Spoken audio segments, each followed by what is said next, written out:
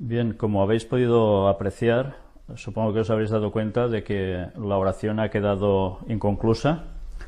En mitad de la grabación se ha ido la señal, pero he querido que esto quedara registrado. Eh, hemos decidido no cortar el anterior trozo de oración precisamente para deciros algo en concreto. Sabéis, eh, este tema venimos preparándolo desde hace, bien, yo de deciros la verdad, quizá hace más de dos años que estoy trabajando en este tema. Y ha llegado el momento de presentarlo.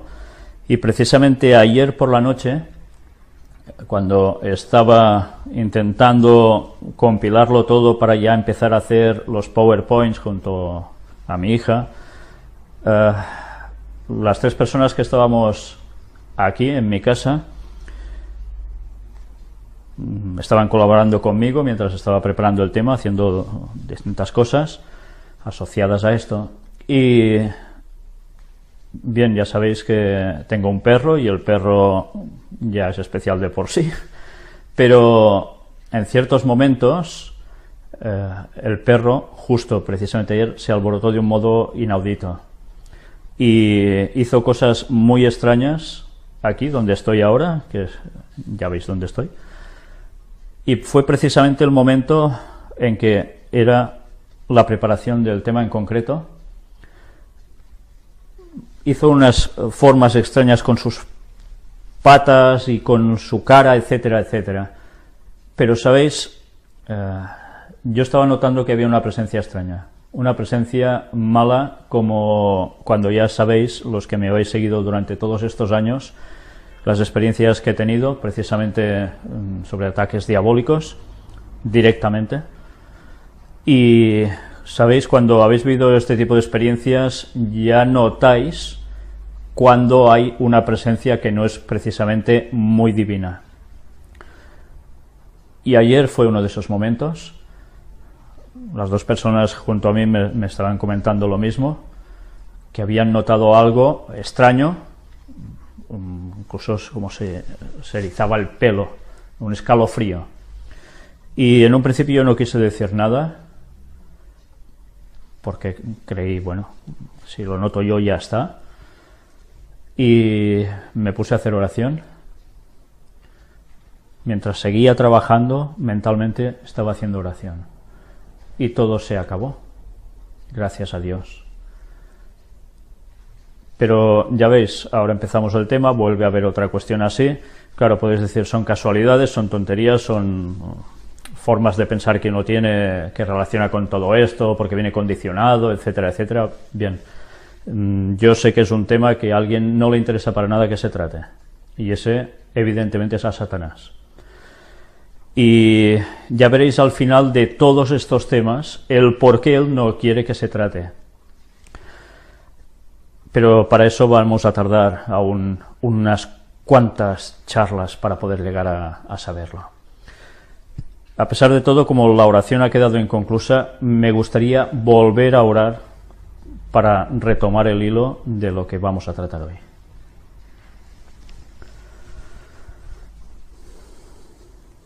Padre, una vez más nos acercamos a ti para implorar que el Espíritu Santo esté con nosotros, que tus palabras sean las que salgan a través de mi boca y que todo lo que presentemos aquí, hoy y todo el resto de días, que sea conforme a tu palabra. Ayúdame, Señor, siempre a estar en lo correcto a luchar por tu palabra, por la verdad. Y que el Espíritu Santo me ayude a recibir la luz suficiente para impartir a los demás, como lo estás haciendo con tantas otras personas y algunas de las que están colaborando tan íntimamente conmigo. Padre, aparta al maligno de nosotros. Ayúdanos a poder dar el mensaje de amonestación a este mundo para que muchos se añadan a tu pueblo.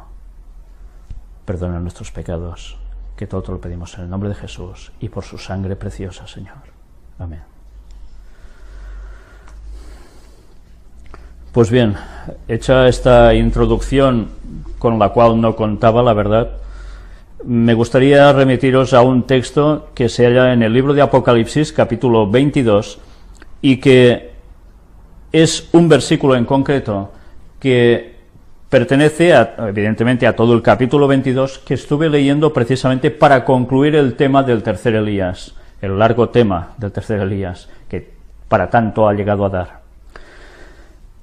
Y precisamente este texto es el que se sitúa en el versículo 20.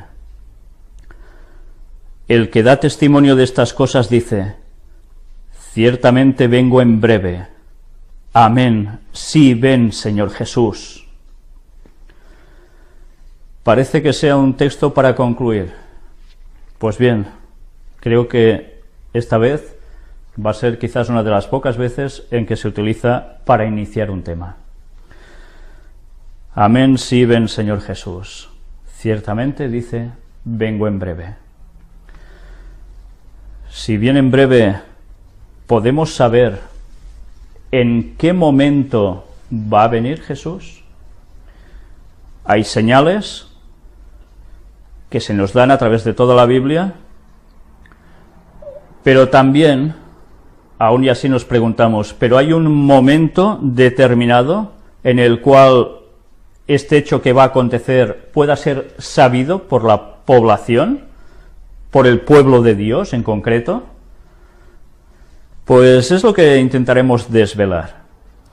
Y, ¿sabéis? Cuando iba a plantear este tema, mm, uno se queda que no sabe por dónde empezar exactamente, pidiéndole a Dios que me orientara, hasta que finalmente creo que lo que voy a exponer es algo de una forma que veréis que está bastante, ¿cómo os diría yo?, ordenada, en un cierto sentido, en el cual las evidencias irán hablando por sí solas.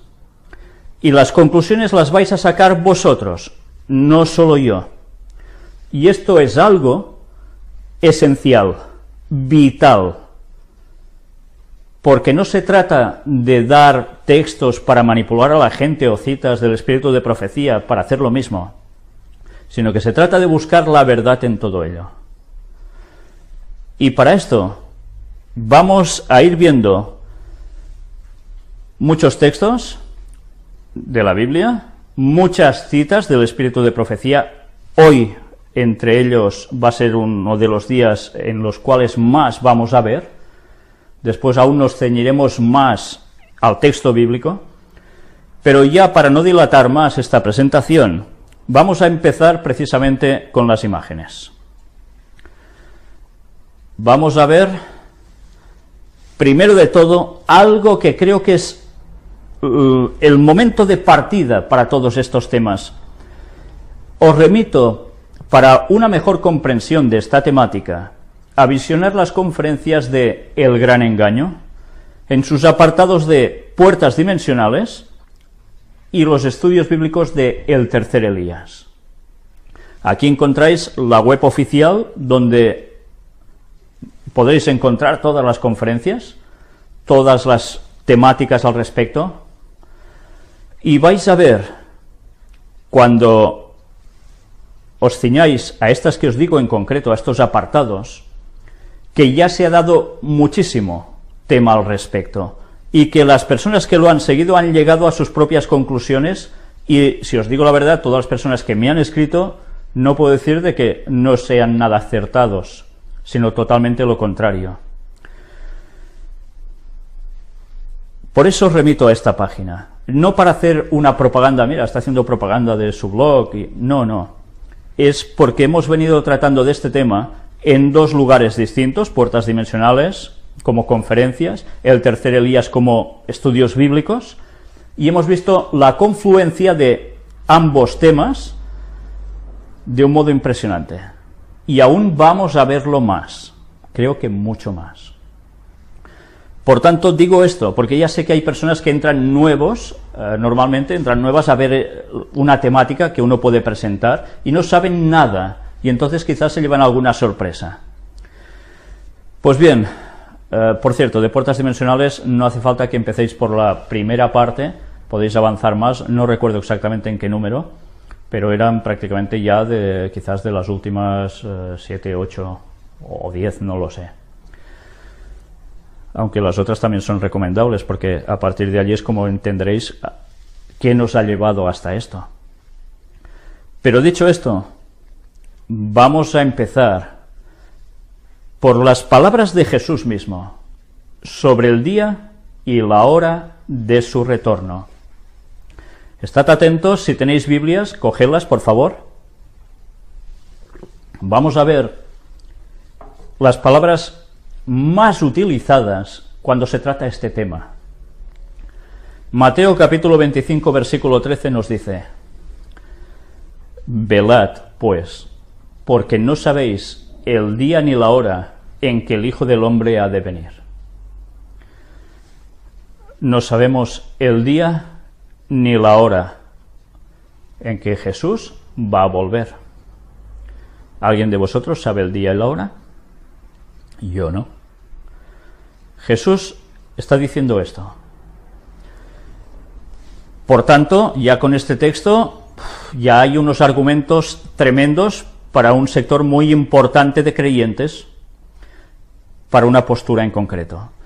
Pero aún se va a reforzar más cuando Mateo 24, versículo 44 nos dice, Por tanto, también vosotros estad preparados, porque el Hijo del Hombre vendrá a la hora que no pensáis. Bueno, con dos textos seguidos ya prácticamente cerramos tema, ¿no? Una hora que, no pensamos, que no pensamos nosotros o que no pensaban sus discípulos. Bien, pues vamos a ver otro texto más después de esta interrogante. Mateo 24, 36. El texto por excelencia. Espada en la mano para todo el mundo que debate este tema. Que tiene una cierta postura, claro. Pero del día y la hora nadie sabe, ni aun los ángeles de los cielos, sino solo mi Padre. Y con este texto ya podría concluir la conferencia o el estudio, llamadle lo que queráis, de hoy para siempre. Cierro y me voy. Pues no, no lo voy a hacer. No lo voy a hacer porque deberemos examinar todo esto y mucho más para ver si las conclusiones que enseguida sacamos al leer este texto son acertadas o no. Y por eso a partir de ahora voy a pediros que tengáis el espíritu de oración al Señor, al Padre, pidiendo saber y discernir todo lo que a partir de ahora vais a ver. Y que seamos tan sinceros, pero tan sinceros, que algún día delante del trono de Dios no podamos decir, ah, yo no sabía nada, porque no habrá excusa. Ahora tenéis la posibilidad de cerrar ya la temática, no seguirla, o poder querer saber más en vuestras manos está. Os lo pensáis dos segundos y si habéis decidido seguir, voy a seguir. Citas de Ellen White sobre Cristo y el Espíritu Santo en su doble naturaleza, humana y divina. Y estad atentos, porque esto es algo que debemos recordar naturaleza doble de Cristo, cuando vino como humano, vino como hombre, evidentemente, pero también era Dios a su vez, ¿no? De un modo extraño, que no podemos comprender tan fácilmente, Dios se encarna, se hace hombre, pero en ningún momento utiliza su divinidad, sino que sólo sigue con su humanidad. Pero después de esto, una vez centrados un poco en este esquema, del cual también trataremos en su momento, si Dios quiere, sobre la naturaleza humana de Cristo, si era como antes de pecar Adán o era como después de pecar Adán. Ya hemos dado alguna pincelada en temas anteriores. Ahora lo importante es que nos demos cuenta también sobre estas citas que nos hablan de dos momentos de Jesús. Dos. Uno cuando está en la tierra, como humano, y otra cuando Él ya ha ascendido a los cielos. Por tanto, ha cambiado. Veamos cómo precisamente en este libro, Nuestra elevada vocación, encontramos unas citas en las páginas 154 y 155, muy, pero que muy interesantes. No voy a leer solo lo que está en azul, voy a leer prácticamente todo, pero destacando ciertos puntos que son los que están subrayados. Y empezaré por la parte de arriba, donde nos dice el Espíritu, proporciona la fortaleza que sustenta al alma que lucha y se esfuerza en toda emergencia, en medio de la hostilidad de los parientes, del odio del mundo, de la comprensión de sus propias imperfecciones y errores. La unión del esfuerzo divino y humano, la estrecha conexión primero, último y siempre con Dios, la fuente de toda fortaleza, esto es absolutamente necesario. Y estamos en este contexto cuando ahora vemos, en esta cita de la Review and de 1908, a Jesús, quien se vació a sí mismo por la salvación de la humanidad perdida, le fue concedido abundantemente el Espíritu Santo. Esto es muy interesante y enseguida os debería remitir a los temas presentados sobre el Espíritu Santo. En estos estudios bíblicos, creo que presenté ocho o nueve temas al respecto y aún habrá más que presentar si Dios quiere en su momento. Pero automáticamente, si analizamos esto, nos damos cuenta que Jesús se vació a sí mismo por la salvación de la humanidad. ¿Cómo se vació Jesús? ¿Solo es una forma simbólica, metafórica de hablar? ¿Hasta qué punto se llegó a vaciar realmente Jesús, literalmente, en el momento de la cruz? ¿Y de qué modo? Fue crucificado, su sangre en sus manos, en sus pies, aparte de los latigazos que había recibido, su corona de espinas, todas sus heridas. Pero llega un momento en que se vacía absolutamente. Y es cuando el soldado atraviesa con la lanza el costado de Jesús. Literalmente Jesús se vació con el agua y la sangre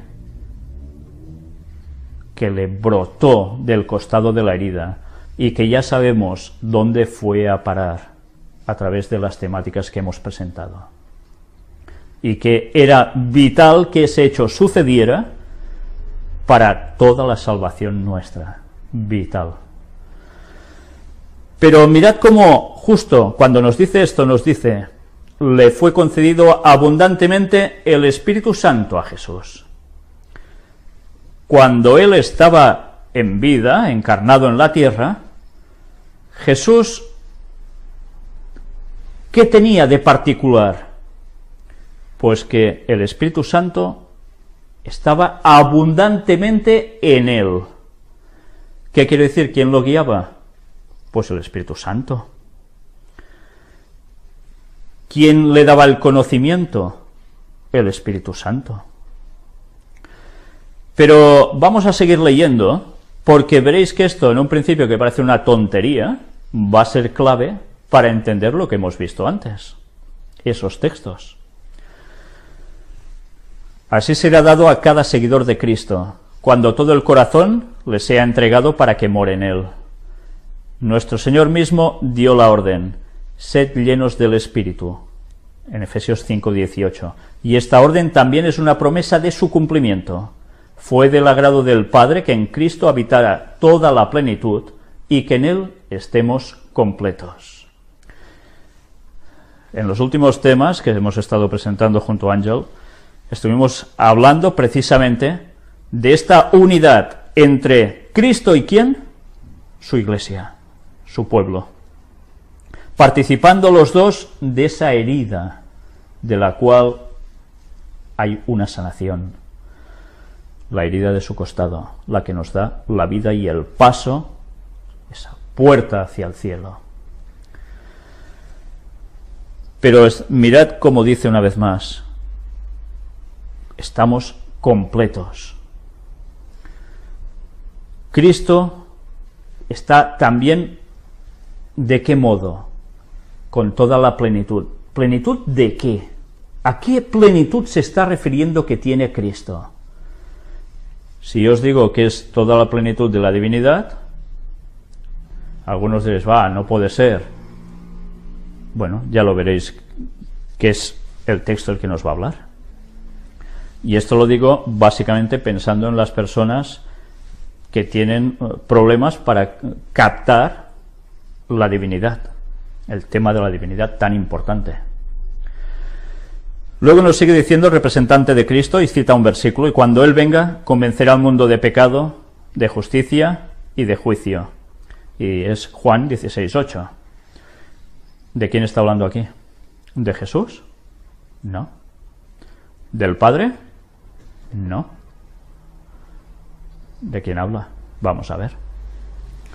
Como el consolador, en mayúsculas, ha de venir y os convencerá de pecado, de justicia y de juicio, cuidad de no resistir al Espíritu de Dios. Estad dispuestos a discernir lo que Él os revele. Someted vuestra voluntad, los hábitos que por tanto tiempo habéis idolatrado y que os son peculiares, para que podáis recibir los principios de la verdad. ¿De quién está hablando aquí? Del Espíritu. Pero para recibirlo y para comprender todo, nos está diciendo algo muy importante. Nuestros hábitos que por tanto tiempo hemos idolatrado y que son peculiares, fuera, al margen, desechados. ¿Vamos a hacer a Dios a nuestra altura o nosotros hemos de llegar a la altura de Dios? Tantas veces molesta algo en, en nuestras vidas que lo más fácil es empezar a decir esto es mentira, esto es falso, esto y así una cosa tras otra. Todo por no ser sinceros y decir, Señor, esto que tú me propones no me interesa, porque yo quiero otros derroteros para mi vida.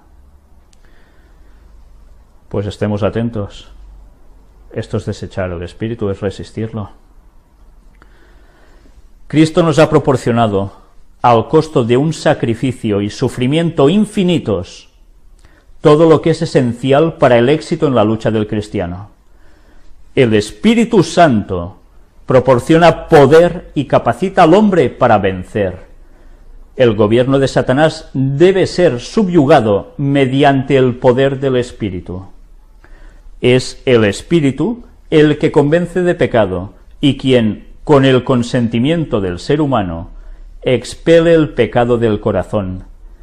La mente entonces es puesta bajo una nueva ley, la ley real de la libertad. O sea que sin el Espíritu, olvidémonos. Satanás es el que va a gobernar. Y va a gobernar nuestras vidas no rechacemos el Espíritu Santo como tal, porque es el consolador que tenía que venir. Pero mirad ahora qué nos dice. El Señor Jesús obra mediante el Espíritu Santo porque es su representante. El Espíritu Santo es el representante de Jesús, por tanto no es Jesús y tampoco es Dios Padre. Mediante él infunde vida espiritual al alma, viva sus energías para el bien, limpia de la contaminación moral y capacita para su reino. Vamos, el todo. Y diréis, ¿y qué tiene que ver todo esto? Pues vamos a seguir viendo. Jesús tiene abundantes bendiciones para derramar, ricos dones para distribuir entre los hombres. Él es el consejero admirable, infinito en sabiduría y fortaleza. Y si reconocemos el poder de su Espíritu y nos sometemos para ser moldeados por Él, estaremos completos en Él. ¿Qué pensamiento es este? En Cristo habita corporalmente toda la plenitud de la deidad y vosotros estáis completos en Él. Colosenses 2, 9 y 10. Por tanto, en Cristo habitaba corporalmente toda la plenitud de la deidad. Cuesta entender esto, pero así fue. La divinidad entera estaban en él, habitando corporalmente en él. Y además, nosotros estamos completos en él. Por tanto, Cristo participaba de Padre y Espíritu Santo plenamente, pero nosotros, ¿de qué debemos participar entonces? Exactamente de lo mismo si queremos estar completos en Él. Ahora entenderéis por qué en algunos textos decía vosotros sois dioses. No porque seamos un Dios con el concepto tal cual tenemos de Dios, sino porque participamos, estamos completos en Él. El corazón humano no puede conocer la felicidad hasta que se somete para ser moldeado por el Espíritu de Dios.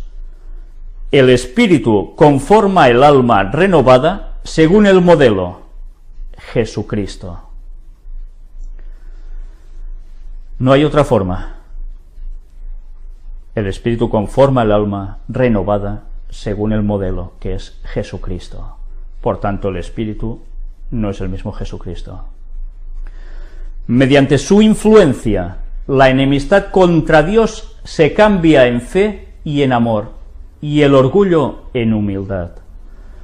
El alma percibe la belleza de la verdad, y Cristo es honrado en la excelencia y la perfección del carácter.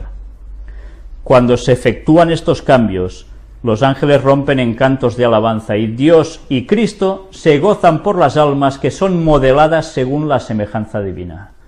El Espíritu Santo es el que moldea y ¿quién se ponen contentos? Dios y Cristo. Mirad si los textos hablan.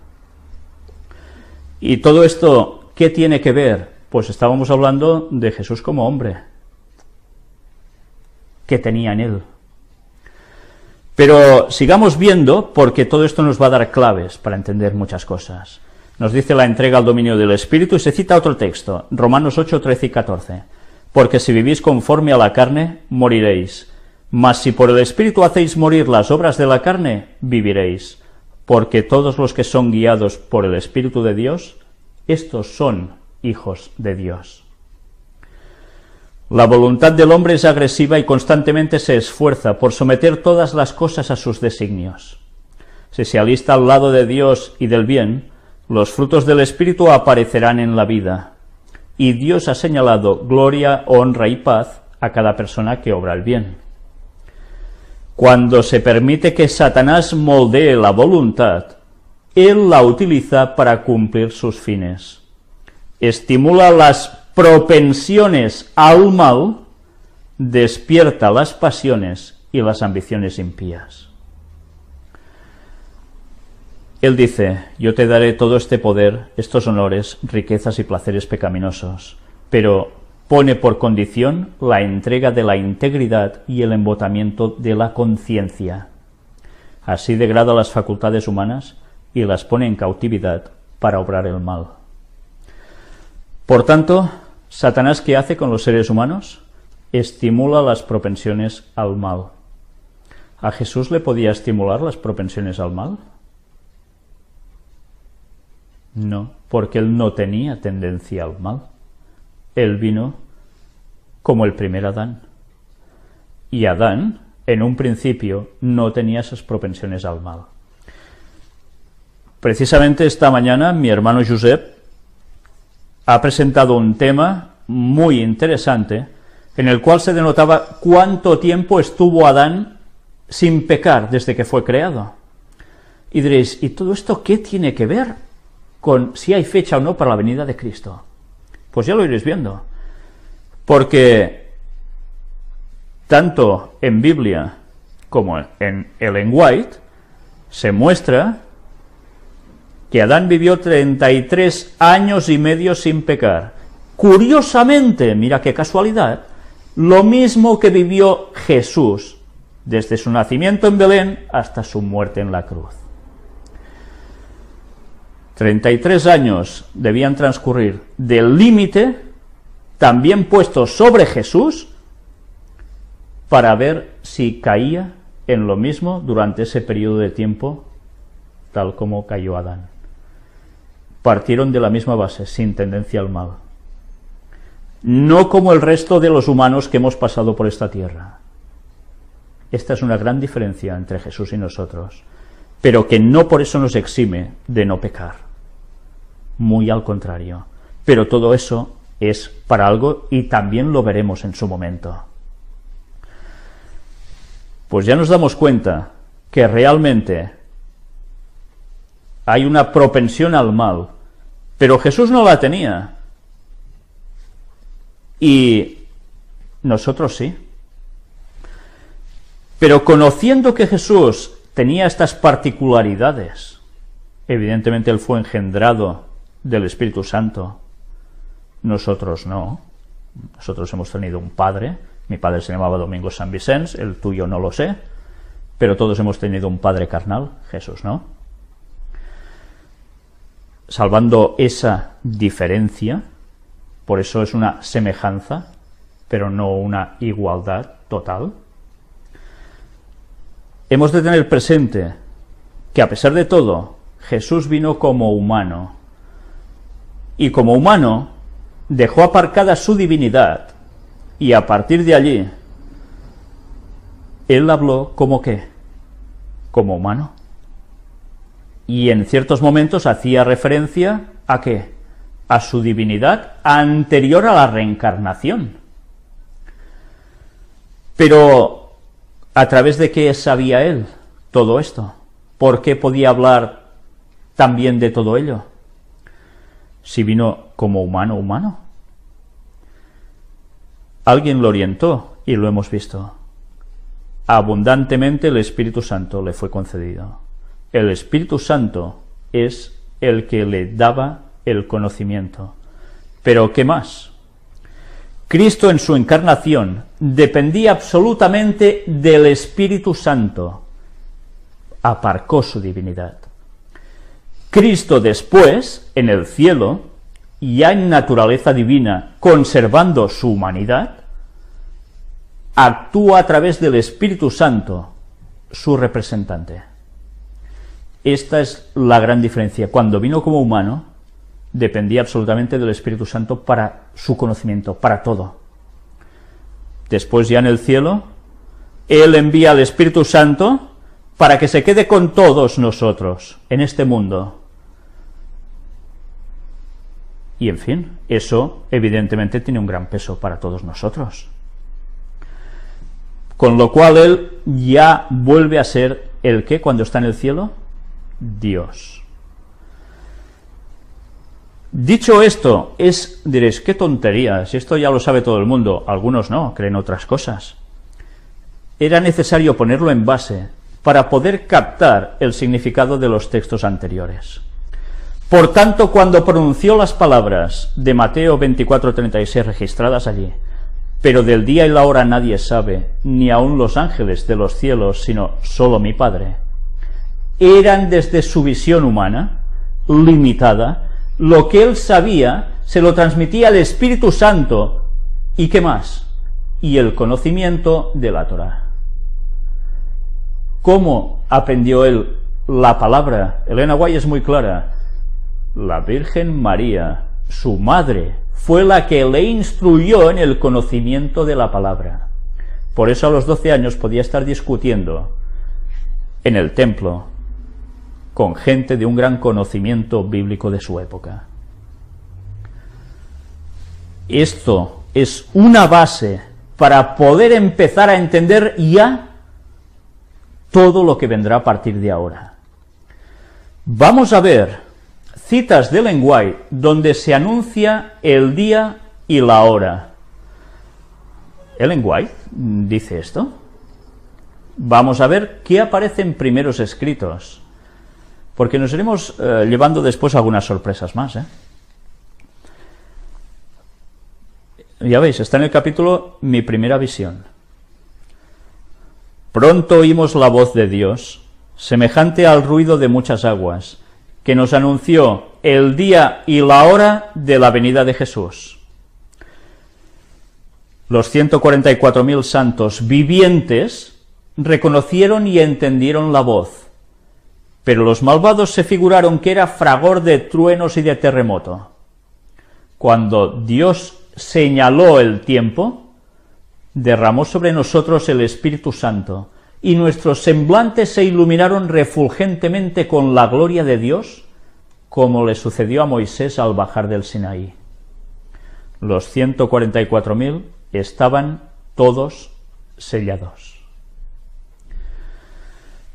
Bien, aquí podríamos hablar de los 144.000, ¿verdad? Enseguida parece que la vista ya se nos vaya directamente hacia este número, su significado, etcétera, etcétera. Bien, Elena Guay es muy clara. 144.000 santos vivientes. Ni uno más ni uno menos. Y no son santos muertos, son santos vivientes.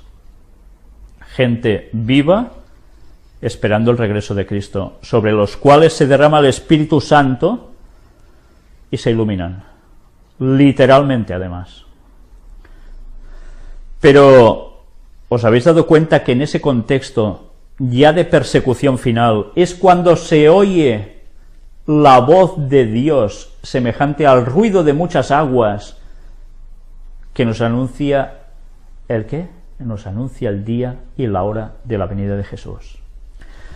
Por tanto, si hasta entonces no aparece la voz de Dios anunciando el día y la hora de la venida de Jesús, ¿vamos a encontrarla nosotros en la Biblia? ¿Vamos a encontrarlo en algún texto por escondido que parezca que pueda ser? No. Podéis buscar tanto como queráis. Pero quien diga el día y la hora de la venida de Jesús, está cometiendo un error gravísimo. Bien, dicho esto, algunos estarán muy contentos, otros en principio no tanto, vamos a ver más cosas. Porque hay un dato muy interesante. Resulta que esa página 15, esta que veis aquí de primeros escritos, llevaba una nota que está al final del libro, ya veis en qué página, la 297, donde se nos dice algo muy, pero que muy interesante. No tengo la menor noción del tiempo mencionado por la voz de Dios Oí proclamar la hora, pero después que salí de la visión no tuve el menor recuerdo de esa hora. Pasaron delante de mí escenas de interés tan emocionante y solemne que ningún lenguaje resulta adecuado para describirlas. Todo eso, para mí, era una viviente realidad. Esto lo escribió en 1888. Y curiosamente fue la época en que eh, también eh, salió un libro a la luz, si no recuerdo mal, El conflicto de los siglos, la gran controversia, el gran conflicto. Era interesante que ella aclarara esto, porque automáticamente la gente que le iba a preguntar, anda, si has oído el día y la hora, dinoslo, ¿no? Pues no lo recordó. Sabía que lo había dicho, pero sale de la visión y ya no se acuerda. Bueno, pues para nosotros puede ser un fastidio, pero es muy clara, muy simple, no lo recuerda. Pero sabiendo esto, vamos a ver otra cita, bueno, aquí la tenéis más ampliada por si no lo habíais visto bien, y volvemos a primeros escritos, pero ahora en la página 34. En el tiempo de angustia, huimos todos de las ciudades y pueblos, pero los malvados nos perseguían y entraban a cuchillo en las casas de los santos. Pero al levantar la espada para matarnos, se quebraba esta y caía tan inútil como una brizna de paja. Está hablando de un momento impresionantemente terrible, ¿eh? la persecución sobre el pueblo de Dios final, entrando casa por casa de los santos para ir a asesinarlos. Pero no pueden. Entonces clamamos día y noche por la liberación, y el clamor llegó a Dios. Y mirad qué descripciones da ahora. Salió el sol y la luna se paró. Esta frase que os acabo de leer va a ser una frase clave para entender el tema, yo diría, justo prácticamente al final de él. Salió el sol y la luna se paró. Pero ahora no os lo voy a explicar, todo en su momento. Cesaron de fluir las corrientes de aguas. Aparecieron negras y densas nubes que se entrechocaban unas con otras. Pero había un espacio de gloria fija, del que, cual estruendo de muchas aguas, salía la voz de Dios que estremecía cielos y tierra. Y que ya vimos en los temas de puertas dimensionales, desde Orión El firmamento se abría y cerraba en honda conmoción. Las montañas temblaban como cañas agitadas por el viento y lanzaban peñascos en su derredor. El mar hervía como una olla y despedía piedras sobre la tierra. Y mirad ahora. Y al anunciar Dios el día y la hora de la venida de Jesús, cuando dio el sempiterno pacto a su pueblo, pronunciaba una frase y se detenía de hablar, mientras las palabras de la frase rodaban por toda la tierra. Interesante que utilice rodar. Ya hemos visto la connotación de esa palabra y cómo precisamente tiene una relación total con esa puerta que nos lleva a Cristo hasta el cielo. Pero ya ves, se pronuncia por parte de Dios el día y la hora de la venida de Jesús. Pero mirad que sigue diciendo. El Israel de Dios permanecía con los ojos en alto, escuchando las palabras según salían de labios de Jehová, y retumbaban por la tierra como fragor del trueno más potente. El espectáculo era pavorosamente solemne, y al terminar cada frase, los santos exclamaban Gloria, aleluya. Sus rostros estaban iluminados con la gloria de Dios, y resplandecían como el de Moisés al bajar del Sinaí, como nos decía antes, ¿eh? en, en la página 15. A causa de esta gloria, los impíos no podían mirarlos. Y cuando la bendición eterna fue pronunciada sobre quienes habían honrado a Dios santificando su sábado, resonó un potente grito por la victoria lograda sobre la bestia y su imagen. Bien, podría hablar ahora de el porqué de tanta importancia del sábado precisamente en esos momentos. Bueno, es la causa de la persecución contra el pueblo de Dios, la marca de la bestia, la imposición del domingo como día de reposo para todo el mundo, que finalmente va a decir, ¿y estos que guardan el sábado a qué aspiran? Pues hay que eliminarlos porque todas las desgracias es por culpa de ellos. Y Satanás va a hostigar precisamente cuando venga haciéndose pasar por Jesús para que ese momento se produzca, eliminar totalmente al pueblo de Dios. Y recordemos, el sábado tiene una consonancia con el pacto y a su vez con la llaga de Cristo en la cruz, el brote de su sangre. Es nuestro pasaporte al cielo. Pero bien, vamos al tema. El día y la hora de la venida de Jesús lo pronuncia Dios. Dicho esto, creo que ya es más que suficiente entre las palabras de Jesús y las palabras que escribe el Espíritu de Profecía para decir, pues no hay que buscar día y hora. ¿Estáis de acuerdo conmigo? Quien diga que no está contradiciendo el texto bíblico. Vamos a ver ahora, después del chasco de 1844, se siguieron poniendo fechas al retorno de Cristo. Vamos a hacer un poco de historia muy rápida, os lo explico en cuatro frases los movimientos que hubieron en 1840 aproximadamente en Estados Unidos sobre que había una fecha para el retorno de Cristo, que era el 22 de octubre, mm, primero se dijo de 1843, después se dijo 1844 por el cálculo año cero, etcétera, hizo de que, claro, esa gente, ese movimiento que se llamó adventista, estuviese esperando ese momento decisivo para la venida de Jesús. Pero claro, no llegó Jesús. ¿Y que hubo? Un gran chasco. Pero ellos se habían basado en una profecía llamada de los 2300 días, en equivalencia día por año profético, por tanto 2300 años, y esa profecía terminaba precisamente en el 22 de octubre de 1844, que coincidía en el día del Yom Kippur, el día precisamente de expiación que los judíos habían tenido como algo tan sagrado durante tantos años, que allí sucedía algo. Bien, todo eso ya lo, sabéis los que ya seguís las temáticas y los que no, pues que lo busquen.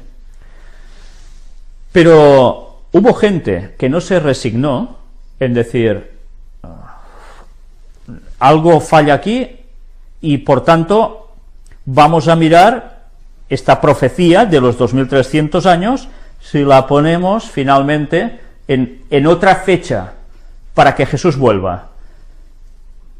Y allí hubo una división, porque hubo gente que se iba levantando poniendo fechas de nuevo al final de esa profecía. Que evidentemente la profecía se cumplía en 1844. Lo que no se cumplía era el hecho de esa profecía. No era que Jesús iba a volver, sino que Jesús pasaba en el cielo, en el tabernáculo, en el templo del cielo, del lugar santo al lugar santísimo, para empezar el juicio sobre el pueblo de Dios. Y cuando termine el juicio, entonces es cuando viene. Pero hubo gente que, no, no, yo seguiré poniendo fechas porque seguro que, Jesús viene en otra fecha distinta, pero aplicándolo a esa profecía. Mira lo que os estoy diciendo, aplicándolo a esa profecía. ¿Estoy diciendo una tontería? Bien, pues lo iremos viendo. Ahora vamos a ver citas de Ellen White sobre poner fechas a la segunda venida de Jesús. Y ahora es cuando, después de leer lo que vamos a leer, muchos se van a quedar con una satisfacción tremenda y otros, una vez más, parecerán chasqueados. Os advierto que lo que vamos a leer está en primeros escritos, para empezar, y es esto de aquí. Luego iremos viendo aún más textos, más citas. Mirad, en esta página 22 en español de primeros escritos, nos habla de una situación. Os voy a poner en contexto con lo que os he explicado ahora, porque ya sabéis que los contextos donde se dan las palabras pueden ser muy importantes. Ella escribe, en aquel tiempo había fanatismo en el estado de Maine. Algunos evitaban todo trabajo y despedían de la fraternidad a cuantos no querían aceptar sus, sus opiniones al respecto, así como algunas otras cosas que ellos consideraban deberes religiosos. Bueno, los fanatismos, ¿eh? que a veces conllevan tantas cosas bárbaras. Dios me reveló esos errores en visión y me envió a sus hijos extraviados para que se los declarase. Pero muchos de ellos rechazaron rotundamente el mensaje y me acusaron de amoldarme al mundo. Por otro lado, los adventistas nominales me acusaron falsamente de fanatismo y algunos, con impiedad, me llamaban dirigente del fanatismo que en realidad yo estaba procurando corregir. Vaya acusaciones, ¿eh? Muy fuertes. Adventistas nominales, pam, le soltaban esto. Pero mirad ahora qué dice. Diferentes fechas fueron fijadas en repetidas ocasiones para la venida del Señor, y se insistió en que los hermanos las aceptasen. Pero el Señor me mostró que todas pasarían, porque el tiempo de angustia debía transcurrir antes de la venida de Cristo y que cada vez que se fijara una fecha y ésta transcurriera, ello no podría sino debilitar la fe del pueblo de Dios. Por enseñar esto se me acusó de acompañar al siervo malo que decía en su corazón, mi señor tarda en venir. Pues mirad si ella en esta, en esta situación lo debió pasar fatal, pero para aclarar las cosas, dijo lo que tenía que decir, no se calló. Os repito, esta gente estaba poniendo terminación a la profecía de los 2300 días, a la misma, en años posteriores a 1844, en los cuales ellos creían que Jesús iba a volver, pero Elena White les decía, esto no puede suceder porque antes tiene que venir el tiempo de angustia, hay que pasar por allí. Ya sabéis que ahora hay muchas religiones eh, evangélicas que se han adherido al rapto, al rapto secreto, que la iglesia no va a pasar por ningún problemón, que van a ser abducidos, llevados fuera de aquí al cielo, salvos, y el mundo lo va a pasar fatal mientras ellos ya están por allí pululando. Esto es una enseñanza totalmente falsa, que los jesuitas se encargaron de infiltrar al mundo protestante, y con un éxito realmente tremendo, pero totalmente fuera del lugar de la Biblia. Esto jamás lo habían creído los protestantes, jamás, hasta que pasó lo que pasó. Pero es cierto que muchas personas siguen esto y no lo saben, no saben el origen de esta enseñanza. Buscadla, por favor, porque os vais a llevar una sorpresa de que os han estado mintiendo. Pero ella decía, va a venir el tiempo de angustia antes de la venida de Cristo.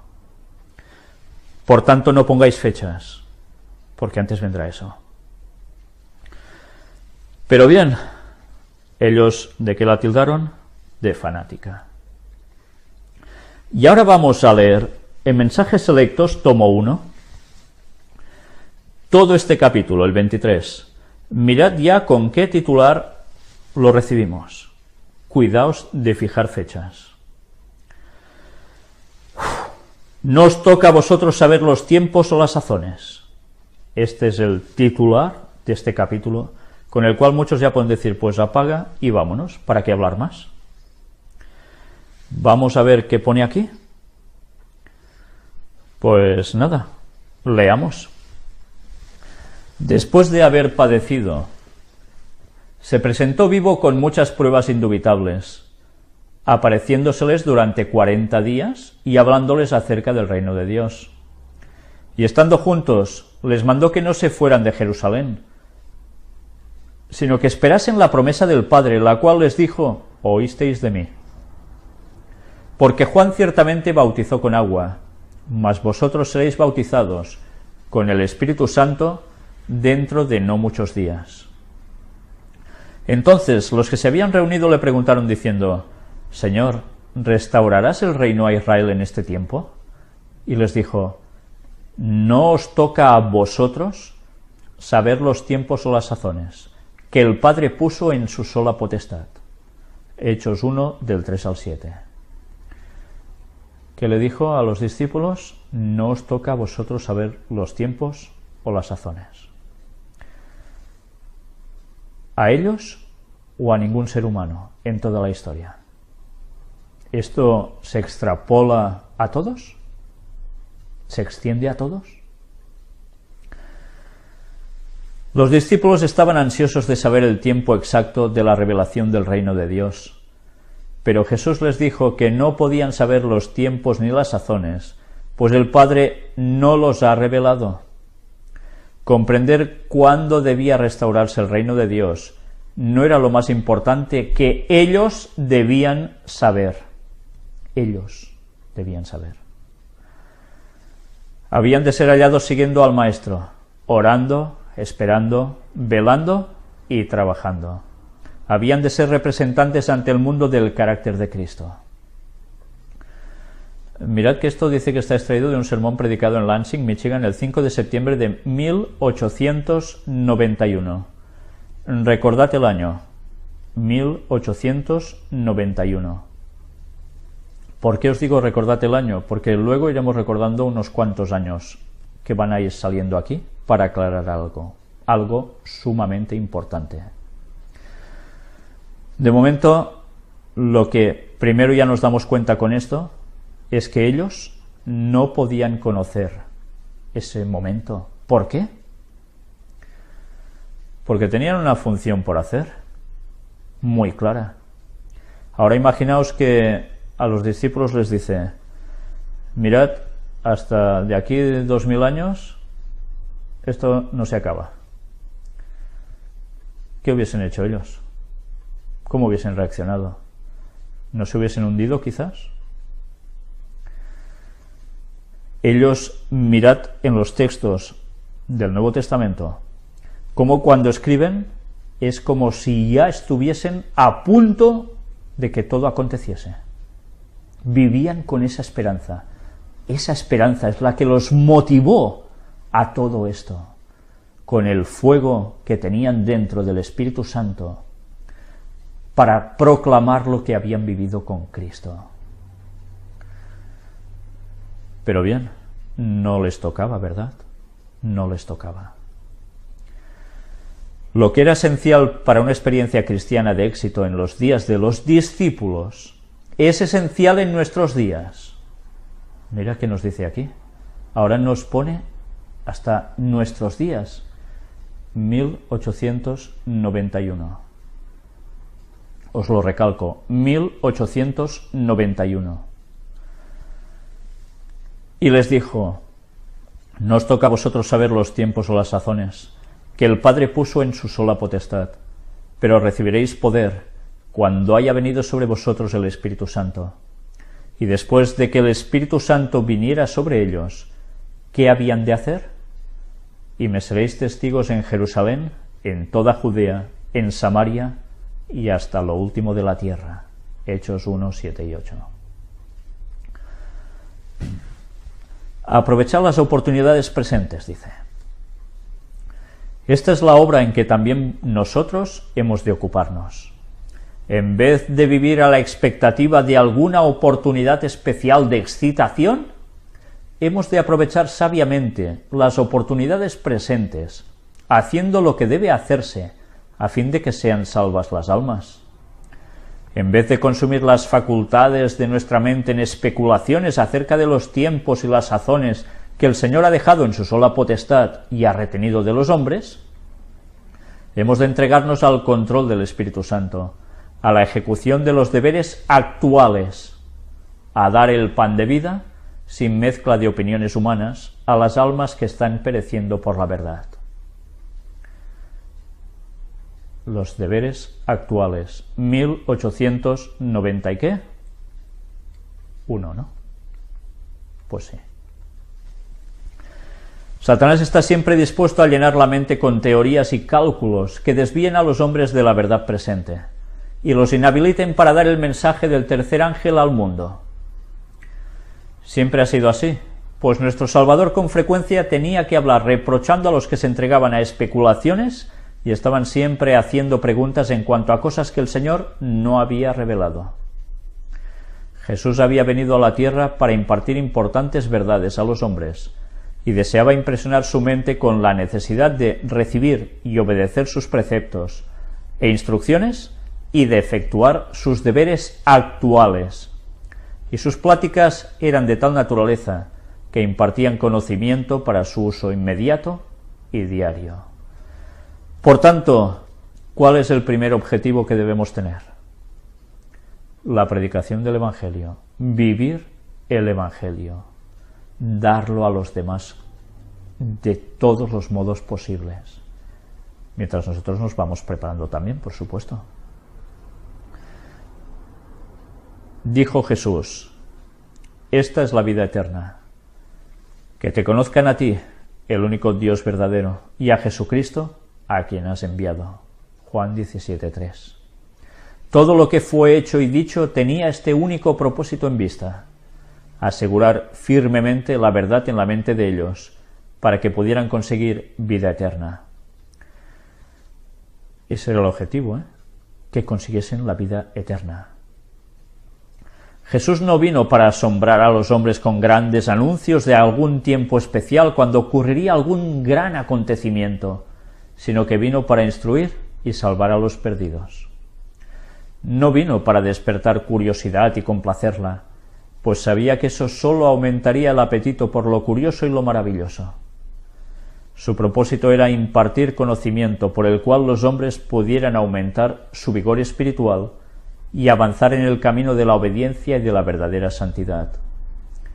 Dio solo las instrucciones que podían ser apropiadas para las necesidades de la vida diaria, tan solo aquellas verdades que podían ser dadas a otros para el mismo destino. No hizo nuevas revelaciones a los hombres, sino que les hizo entender verdades que habían estado oscurecidas por mucho tiempo, o que habían sido puestas fuera de su lugar por las falsas enseñanzas de los sacerdotes y maestros. Jesús colocó de nuevo las gemas de verdad divina en su marco adecuado, en el orden en que habían sido dadas a patriarcas y profetas. Y después de haberles dado esa preciosa instrucción, prometió darles el Espíritu Santo para que así recordaran todas las cosas que les habían sido dichas. Estamos continuamente en peligro de ponernos por encima de la sencillez del Evangelio. Hay un intenso deseo en muchos de impresionar al mundo con algo original que eleve a la gente a un estado de éxtasis espiritual y que cambie el estado actual de cosas. Ciertamente hay gran necesidad de un cambio en el estado actual de cosas, pues no se comprende como se debiera el carácter sagrado de la verdad presente pero el cambio que necesitamos es un cambio de corazón y solo se puede obtener buscando a Dios individualmente, buscando su bendición, pidiéndole su poder, orando fervientemente para que su gracia pueda venir sobre nosotros y que sean transformados nuestros caracteres.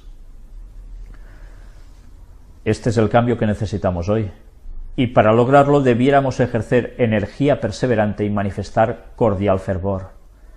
Debiéramos preguntar con verdadera sinceridad, ¿qué debo hacer para ser salvo? Debiéramos saber exactamente qué pasos estamos dando hacia el cielo. Mensaje clarísimo. Primero toca prepararte bien. No se trata de sensacionalismos. Da el Evangelio tal cual es. 1891. Amonestación en contra de fijar fechas. Cristo dio a sus discípulos verdades cuya anchura, profundidad y valor poco apreciaron y tampoco comprendieron, y el mismo estado de cosas existe hoy en el pueblo de Dios. También hemos fallado en comprender la grandeza o percibir la belleza de la verdad que Dios nos ha confiado hoy. Si avanzáramos en conocimiento espiritual, veríamos que la verdad se desarrolla y expande en ciertos aspectos en que poco hemos soñado. Pero nunca se desarrollará en algún aspecto que nos induzca a imaginar que podemos conocer los tiempos y las sazones que el Padre ha puesto en su sola potestad. Vez tras vez se me ha amonestado acerca de fijar fechas. Nunca más habrá un mensaje para el pueblo de Dios que se base en el tiempo. No hemos de saber el tiempo definido, ya sea del derramamiento del Espíritu Santo o de la venida de Cristo. Dicho esto, ¿terminó aquí? Muchos terminan su lectura aquí. Y para muchos esto es más que suficiente. No hemos de saber derramamiento del Espíritu Santo, cuando será, no hemos de saber venida de Cristo. Por tanto, está claro, del día y la hora nadie sabe, solo el Padre, apaga y vámonos, ya está. Si yo me quedara aquí, muchos estarían muy contentos. Pero no me puedo quedar aquí. Voy a seguir leyendo esto, voy a seguir leyendo otras cosas. Y después nos vamos a llevar una sorpresa. Antes de venir a esta reunión, estuve buscando en mis escritos para ver lo que debiera llevar a Australia y encontré un sobre en el cual estaba escrito Testimonio dado acerca de fijar fechas. 21 de junio de 1851. Presérvalo cuidadosamente. Esto ponía este sobrescrito. ¿eh? Lo abrí y esto es lo que encontré. Dice, copia de una visión que dio el Señor a la hermana White el 21 de junio de 1851 en Camden, Nueva York. El Señor me mostró que el, mensaje debe avanzar y que no debe depender del tiempo, pues este no será nunca más una prueba. Interesante, ¿eh? Esto lo mencionamos también en el tema del tercer Elías. No debemos avanzar por cuestiones de saber tiempos. Debemos avanzar por otras cosas. Vi que algunos estaban siendo objeto de una falsa excitación provocada por predicar fechas, que el mensaje del tercer ángel puede permanecer sobre su propio fundamento y que no necesita de fechas para fortalecerse, y que proseguirá con gran poder y efectuará su obra y será abreviado en justicia. Clarísimo, ¿eh? Sobre todo hay un mensaje, el de los tres ángeles. Y después el cuarto que se añade, por supuesto. Ese es el mensaje que hay que dar. Ese mensaje no le hacen falta fechas para nada.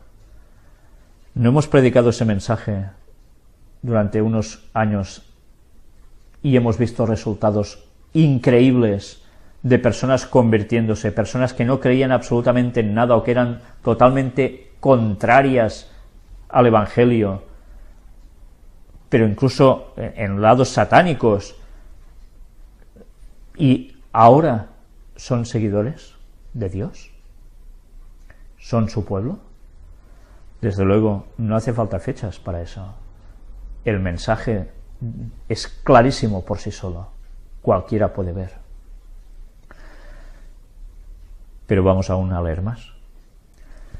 Vi que algunos estaban haciendo que todo se encaminara a este próximo otoño.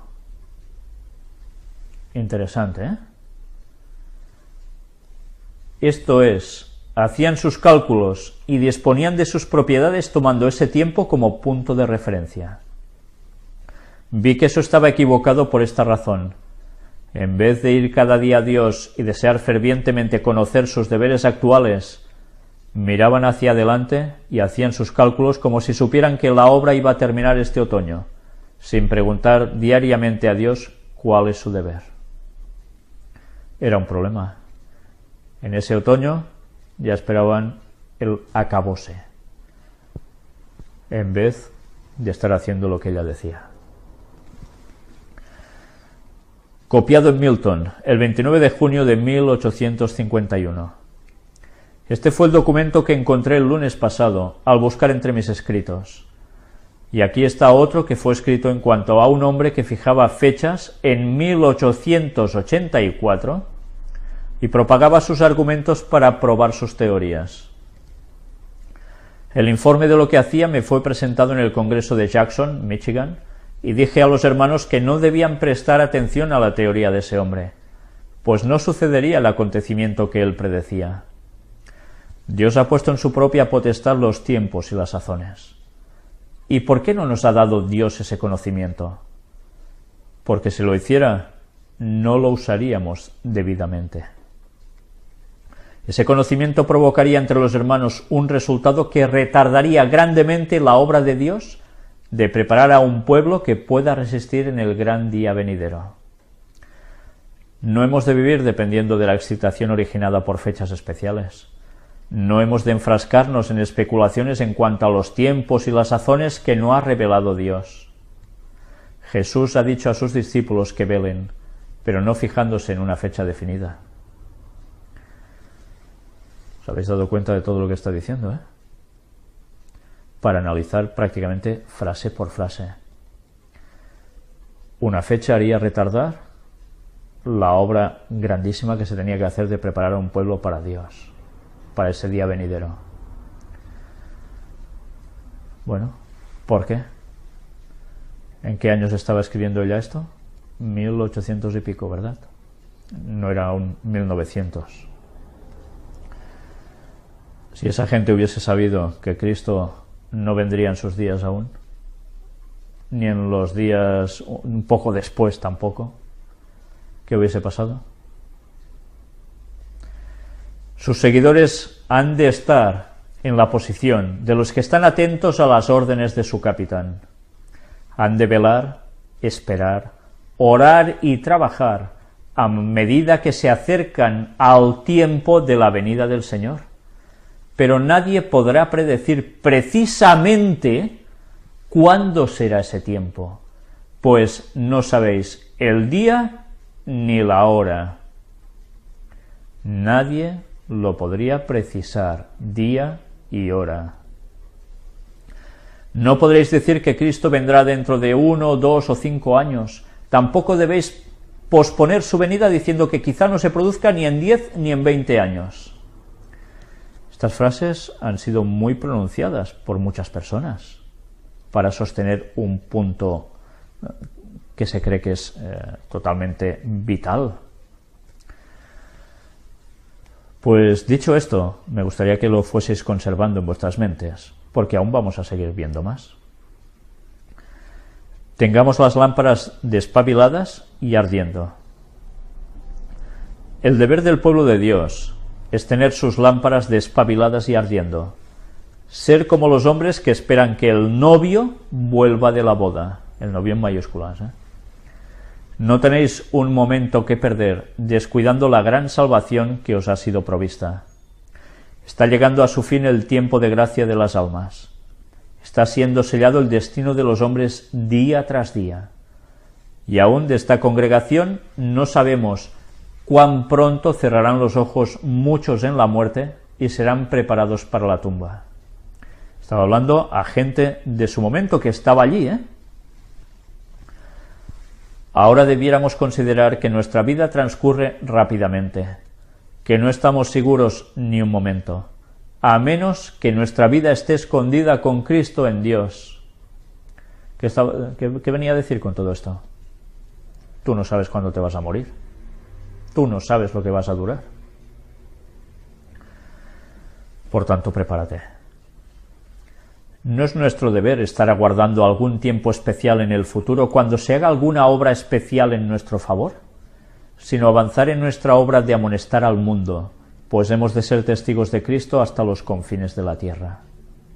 Ese es nuestro deber. Nos rodean por doquier a los jóvenes, los impenitentes, los inconversos. ¿Y qué estamos haciendo por ellos? Padres, en el ardor de vuestro primer amor, ¿Estáis procurando la conversión de vuestros hijos? ¿O estáis enfrascados en las cosas de esta vida hasta el punto de que no hacéis esfuerzos fervientes para ser colaboradores con Dios? ¿Apreciáis la obra y misión del Espíritu Santo? ¿Comprendéis que el Espíritu Santo es el instrumento por el cual hemos de llegar a las almas de los que nos rodean? Cuando termine esta reunión, ¿Os iréis de aquí y os olvidaréis de las fervientes exhortaciones que se os han hecho? Será dejado sin atender el mensaje de amonestación y se escurrirá de vuestro corazón la verdad que habéis oído, como agua que se escurre de una vasija rota? Dice el apóstol. Por tanto, es necesario que con más diligencia atendamos a las cosas que hemos oído, no sea que nos deslicemos porque si la palabra dicha por medio de los ángeles fue firme, y toda transgresión y desobediencia recibió justa retribución, ¿cómo escaparemos nosotros si descuidamos una salvación tan grande? La cual, habiendo sido anunciada primeramente por el Señor, nos fue confirmada por los que oyeron, testificando Dios juntamente con ellos, con señales y prodigios y diversos milagros, y repartimientos del Espíritu Santo según su voluntad. Hebreos 2, del 1 al 4. Y vamos a seguir leyendo un poco más aún. El mensaje del tercer ángel está creciendo hasta convertirse en un fuerte pregón. Y no debéis sentiros libres de descuidar el deber actual y todavía abrigar la idea de que, en algún futuro, seréis los receptáculos de una gran bendición cuando se efectúe un maravilloso reavivamiento sin ningún esfuerzo de vuestra parte. ¿Cuánta gente está esperando esto en la iglesia? Sí, va a haber un reavivamiento. Uy, qué bien, entonces ya cuando llegue, uff, eh, va a llegar y qué? Si no te has preparado, tú te quedas en reavivamiento, ¿eh? No hay vuelta de hoja aquí. Hoy habéis de entregaros a Dios para que os haga vasos de honra aptos para su servicio, porque hay otros vasos que no son de honra ni aptos para su servicio. Hoy habéis de entregaros a Dios para que seáis vaciados del yo, vaciados de la envidia, los celos, las malas conjeturas, las contiendas, de todo lo que deshonre a Dios. Hoy habéis de tener purificado vuestro vaso, para que esté listo para el rocío celestial, listo para los chaparrones de la lluvia tardía, pues vendrá la lluvia tardía, y la bendición de Dios llenará cada alma que esté purificada de toda contaminación. Nuestra obra hoy es rendir nuestra alma a Cristo, para que podamos ser hechos idóneos para el tiempo del refrigerio de la presencia del Señor, idóneos para el bautismo del Espíritu Santo. Esto está escrito en The Review and Herald, 22 de marzo de 1892. Os he dicho, quedaos con las fechas, con los años de estos escritos. Porque esto va a ser muy, pero que muy importante. Sigue diciéndonos aquí, el tiempo no ha sido revelado. Dios no nos ha revelado el tiempo cuando terminará este mensaje, o cuando el tiempo de gracia llegará a su fin. Aceptemos las cosas reveladas para nosotros y para nuestros hijos, pero no procuremos saber lo que ha sido mantenido secreto en los concilios del Todopoderoso. Nuestro deber es velar, trabajar y esperar, trabajar cada momento por las almas que están prontas para perecer Hemos de mantenernos caminando continuamente en las pisadas de Jesús, trabajando de acuerdo con sus planes, dispensando sus dones como buenos mayordomos de la múltiple gracia de Dios. Satanás estará listo para dar a cualquiera que no aprende diariamente de Jesús un mensaje especial de su propia creación a fin de anular la maravillosa verdad para este tiempo. Cuidado con eso, ¿eh? Ya lo vemos. Pueden haber gente que empiecen a decir cosas de su propia creación que en verdad, ¿quién es el que lo está moviendo? Satanás. Y todo eso no va a servir para preparar un pueblo, todo lo contrario. Me han llegado cartas preguntándome si tengo alguna luz especial en cuanto a la fecha de la terminación del tiempo de gracia. Y contesto que solo tengo este mensaje que dar que ahora es el tiempo de trabajar mientras dure el día, pues viene la noche cuando nadie puede obrar. Ahora, precisamente ahora, es el tiempo cuando debemos estar velando, trabajando y esperando. La palabra del Señor revela que el fin de todas las cosas está cerca, y su testimonio es clarísimo en esto. Es necesario que cada persona tenga la verdad arraigada en el corazón, de modo que controle la vida y santifique el carácter. El Espíritu del Señor está obrando para llevar la verdad de la palabra inspirada y grabarla en el alma de modo que los profesos seguidores de Cristo tengan un gozo santo y sagrado que puedan impartir a otros. Ahora es el tiempo oportuno para que trabajemos nosotros, precisamente ahora, mientras dura el día. Pero nadie ha recibido la orden de escudriñar las Escrituras a fin de asegurar, si es posible, cuándo terminará el tiempo de gracia. Dios no ha concedido tal mensaje a ningún labio mortal. Él no quiere que ninguna lengua mortal declare aquello que ha ocultado en sus concilios secretos. Review Evangelial, 9 de octubre de 1894. Mirad que habla del tiempo de gracia. Yo he conocido personas y, y bueno, eran puntales dentro de sus iglesias, gente que ahora alguno de ellos ya es fallecido incluso, por edad, por muy mayor, en los cuales siempre se daba una característica y eran ir haciendo planos para poner fechas al fin del tiempo de gracia. Y por tanto, después lo otro ya iba viniendo todo. Curiosamente, todos esos planos ahora no son nada, porque esas fechas fueron pasando y los chascos fueron siguiendo. Pero ha sido una cuestión de qué? ¿De no leer? ¿De no ser sinceros? ¿Se han equivocado porque no han tenido más luz?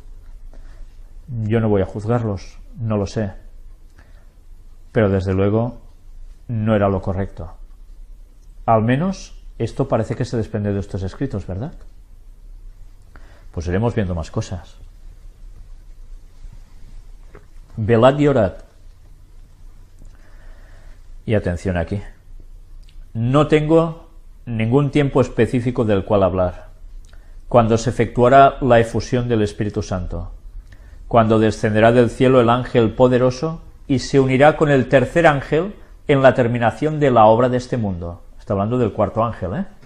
¿Sabéis? Hay aún eh, creyentes que ignoran de que hay tres ángeles con mensajes y después se añade otro, el cuarto, el que aparece en Apocalipsis 18, que refuerza a los de Apocalipsis 14. Mi mensaje es que nuestra única seguridad radica en estar listos para el refrigerio celestial, con nuestras lámparas despabiladas y encendidas. Cristo nos ha dicho que velemos, porque el Hijo del Hombre vendrá a la hora que no pensáis. Velad y orad. Es la consigna que nos es dada por nuestro Redentor. Día tras día hemos de buscar la inspiración del Espíritu de Dios para que Él pueda efectuar la obra que le incumbe en el alma y el carácter. Oh, cuánto tiempo ha sido malgastado prestando atención a cosas baladíes, o sea, sin importancia, absurdas. Arrepentíos y convertíos, para que sean borrados vuestros pecados, cuando vengan los tiempos del refrigerio de la presencia del Señor. Review Angera 22, perdón, 29 de marzo de 1892. Bien, pues ahora hay otra lectura más. Aparece en Mensajes Selectos, tomo 2 pero no os lo voy a leer ahora. Os lo voy a leer mañana, si Dios quiere. Donde vamos a seguir viendo estas citas que son tan impresionantes que dejan, parece ser tan a las claras, que cualquiera que diga que hay una fecha está sentenciado. No va bien. No hay día, no hay hora, solo el Padre lo sabe. Y hemos visto que el Padre es el que va a pronunciar con su mismísima voz esas palabras anunciándolo. ¿Y en qué momento? Muy poco, bueno, prácticamente casi al mismo final de la historia de esta humanidad, justo antes del regreso de Cristo. Pero quizás algunos hoy se irán a dormir con una sensación extraña. ¿Cómo puede ser que ahora Víctor esté diciendo esto? Con todos los temas que ha presentado antes, ¿qué le ha pasado? ¿Se ha vuelto loco? ¿Es un vendido? ¿Qué le pasa a Víctor? Bien, pues veréis qué le pasa a Víctor. Porque Víctor, no por ser el más listo de la clase, ni mucho menos, va a mostrar escritos aún del espíritu de profecía y textos bíblicos que nos van a dejar perplejos a muchos. Y no os quedéis solo con lo que he presentado ahora, sigo diciendo, todo lo anterior presentado, puertas dimensionales, el tercer Elías, allí se ha mostrado una de datos impresionantes, impresionantes a tal punto que además son totalmente incontestables, totalmente incontestables. No se pueden contradecir, porque sería ir contra la palabra de Dios, no la mía, la palabra de Dios.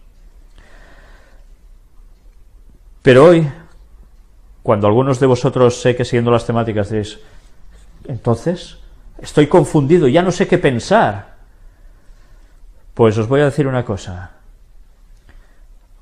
poneos a orar. Poneos a orar y a buscar la verdad. Y, y iréis quizás a dormir pensando, ¿cómo puede ser? Pero buscad por vosotros mismos. Ahora quizás estaréis confundidos. No he terminado el tema. ¿eh? Este tema nos va a deparar muchas sorpresas porque a veces, ¿sabéis? Las películas empiezan de un modo, ¿verdad? Y sobre todo cuando es la típica película del asesinato en un hogar donde hay mucha gente y ya sabéis, termina siendo el mayordomo, ¿no?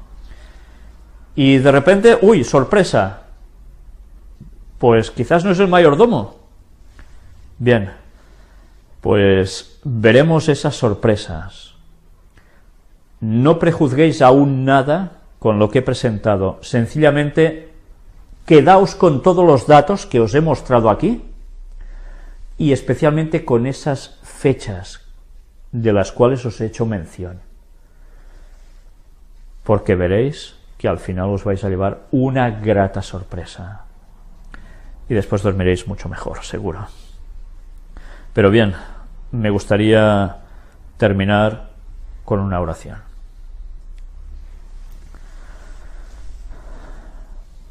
Padre,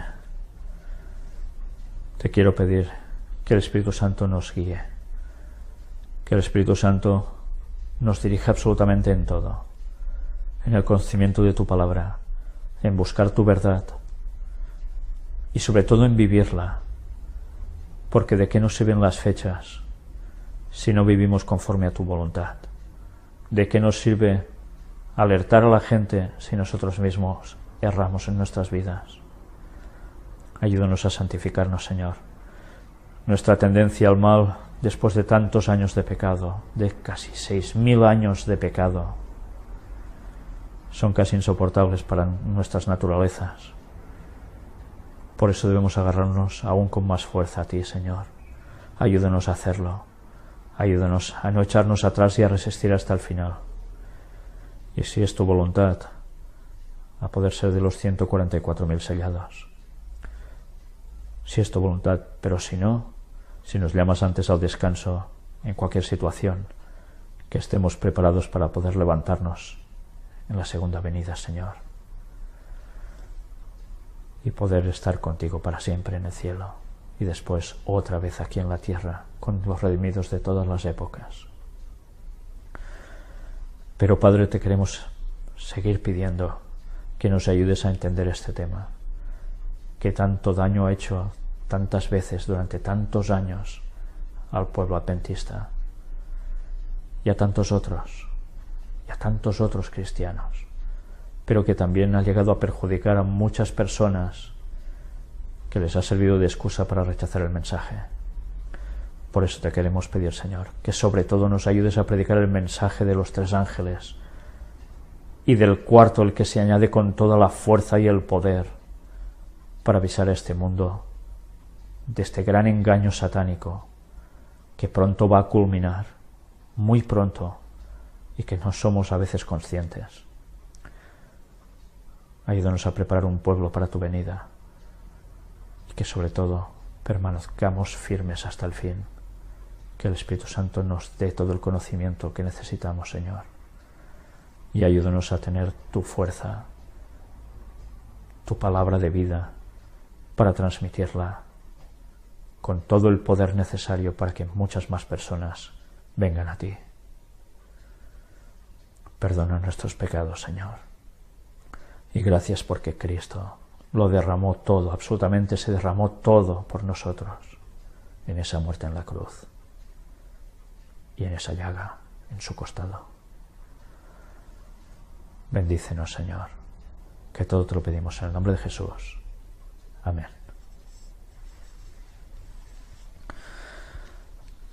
Pues mañana va a haber más. Si Dios quiere, empezaremos la temática alrededor quizás de las 6 de la tarde, 7 como mucho. Y creo que aún vais a quedar más, diría yo, impregnados de un conocimiento, de unos escritos que a veces no analizamos, que son tan necesarios que conozcamos y que nos van a servir para después de ver estas temáticas, que recordad no termina ni hoy ni mañana, para que una vez con ese conocimiento podamos ir ahí afuera, adventistas y no adventistas, y darles un mensaje en concreto, para el cual hemos sido llamados todos, todos nosotros, y muchos más se añadan. Pues nada, buenas noches a los que estáis aquí en mis latitudes y a los otros pues que terminéis de pasar un feliz sábado. Hasta pronto, si Dios quiere. Extraño, incluso como se, se erizaba el pelo, un escalofrío. Y en un principio yo no quise decir nada, porque creí, bueno, si lo noto yo ya está. Y me puse a hacer oración Mientras seguía trabajando, mentalmente estaba haciendo oración. Y todo se acabó. Gracias a Dios. Pero ya veis, ahora empezamos el tema, vuelve a haber otra cuestión así. Claro, podéis decir, son casualidades, son tonterías, son formas de pensar que uno tiene que relaciona con todo esto, porque viene condicionado, etcétera, etcétera. Bien, mm, yo sé que es un tema que a alguien no le interesa para nada que se trate. Y ese, evidentemente, es a Satanás. Y ya veréis al final de todos estos temas el por qué él no quiere que se trate. Pero para eso vamos a tardar aún unas cuantas charlas para poder llegar a, saberlo. A pesar de todo, como la oración ha quedado inconclusa, me gustaría volver a orar para retomar el hilo de lo que vamos a tratar hoy.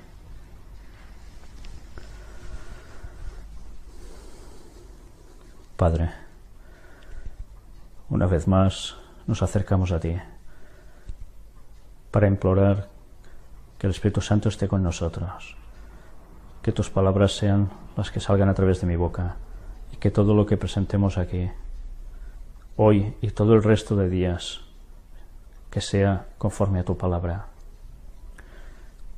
Ayúdame, Señor, siempre a estar en lo correcto a luchar por tu palabra, por la verdad.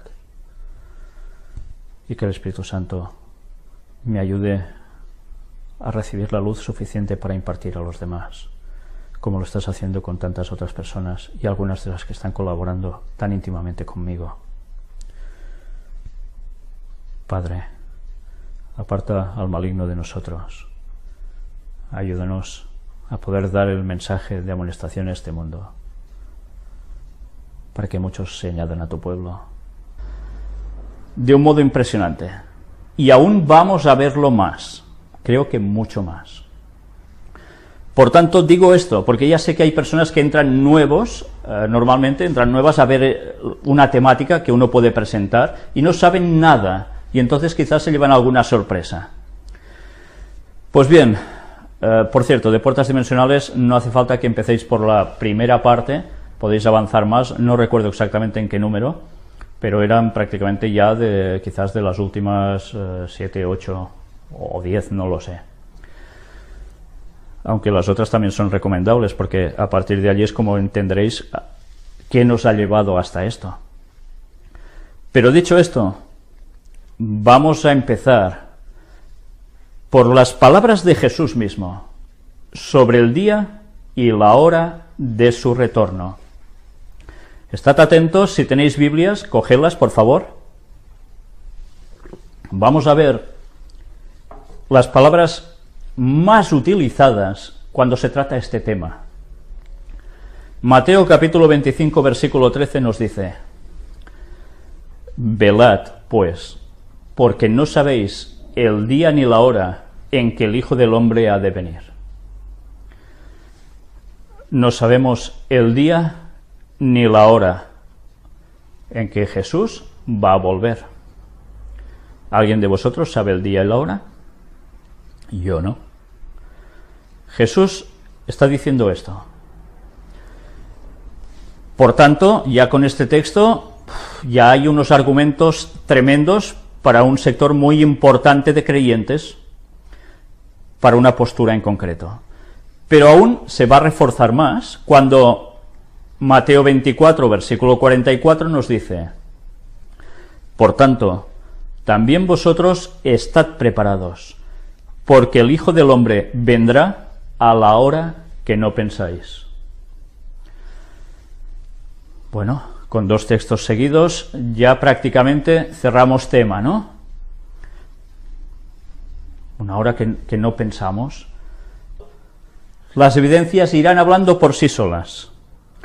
Y las conclusiones las vais a sacar vosotros, no solo yo.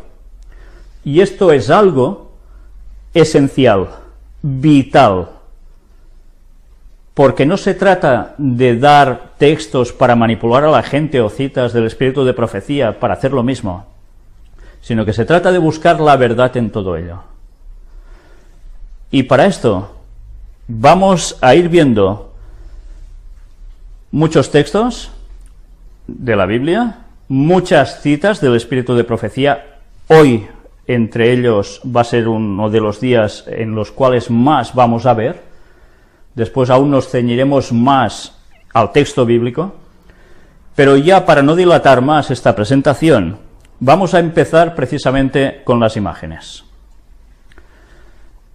Vamos a ver, primero de todo, algo que creo que es uh, el momento de partida para todos estos temas.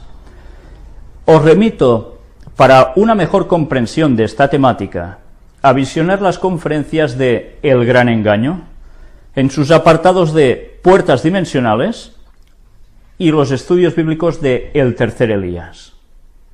Aquí encontráis la web oficial donde podréis encontrar todas las conferencias, todas las temáticas al respecto, y vais a ver cuando os ciñáis a estas que os digo en concreto, a estos apartados, que ya se ha dado muchísimo tema al respecto y que las personas que lo han seguido han llegado a sus propias conclusiones y si os digo la verdad, todas las personas que me han escrito no puedo decir de que no sean nada acertados, sino totalmente lo contrario. Por eso os remito a esta página, no para hacer una propaganda, mira, está haciendo propaganda de su blog, y no, no, es porque hemos venido tratando de este tema en dos lugares distintos, puertas dimensionales como conferencias, el tercer Elías como estudios bíblicos, y hemos visto la confluencia de ambos temas. Bien, como habéis podido apreciar, supongo que os habéis dado cuenta de que la oración ha quedado inconclusa. En mitad de la grabación se ha ido la señal, pero He querido que esto quedara registrado. Eh, hemos decidido no cortar el anterior trozo de oración precisamente para deciros algo en concreto. Sabéis, eh, este tema venimos preparándolo desde hace, eh, bien, yo de deciros la verdad, quizá hace más de dos años que estoy trabajando en este tema y ha llegado el momento de presentarlo y precisamente ayer por la noche cuando estaba intentando compilarlo todo para ya empezar a hacer los PowerPoints junto a mi hija, eh, las tres personas que estábamos aquí en mi casa mm, estaban colaborando conmigo mientras estaba preparando el tema, haciendo distintas cosas asociadas a esto. Y Bien, ya sabéis que tengo un perro y el perro ya es especial de por sí, pero en ciertos momentos eh, el perro, justo precisamente ayer, se alborotó de un modo inaudito y hizo cosas muy extrañas aquí donde estoy ahora, que ya veis dónde estoy, y fue precisamente el momento en que era la preparación del tema en concreto. Hizo unas formas extrañas con sus patas y con su cara, etcétera, etcétera. Pero, ¿sabéis? Eh, yo estaba notando que había una presencia extraña, una presencia mala como cuando ya sabéis, los que me habéis seguido durante todos estos años, las experiencias que he tenido precisamente mm, sobre ataques diabólicos directamente.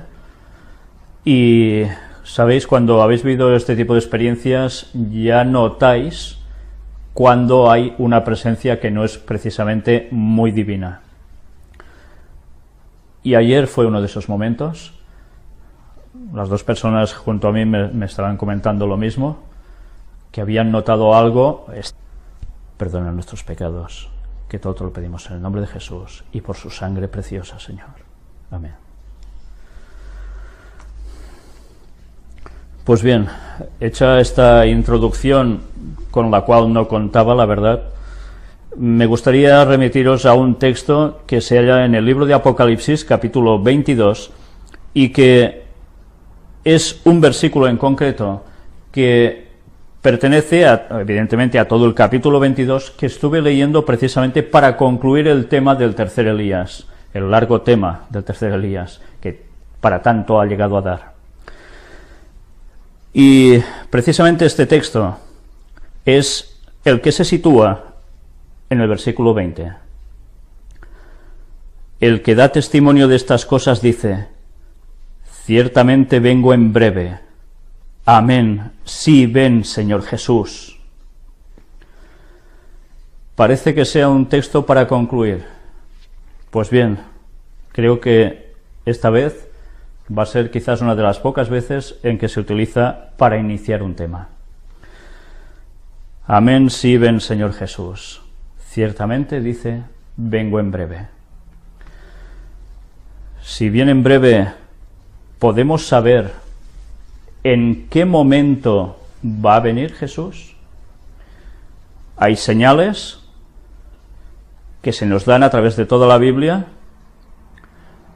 pero también, aún y así nos preguntamos, pero hay un momento determinado en el cual este hecho que va a acontecer pueda ser sabido por la población, por el pueblo de Dios en concreto. Pues es lo que intentaremos desvelar. Y, ¿sabéis? Cuando iba a plantear este tema, mm, uno se queda que no sabe por dónde empezar exactamente, pidiéndole a Dios que me orientara, hasta que finalmente creo que lo que voy a exponer es algo de una forma que veréis que está bastante, como os diría yo?, ordenada, en un cierto sentido, en el cual